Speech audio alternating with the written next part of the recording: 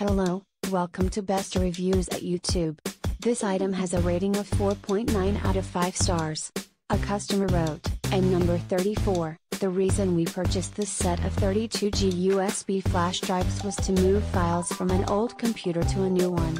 We needed large enough flash drives that we didn't need to back up each individual file and 32G is sufficient for us.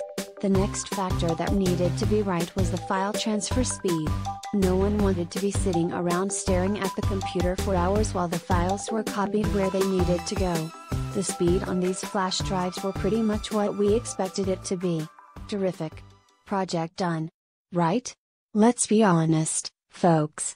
What is the real reason that I purchased this particular set of drives? It was the design. They were being purchased for a 16 year old boy who has a talent for destroying flash drives. He steps on them. He buries them underneath piles of books. He just loses them. I wanted this particular design because I believe the metal would withstand his abuse, and the design would allow them to be placed on a keyring so they are less likely to get lost. I was right in all of these considerations.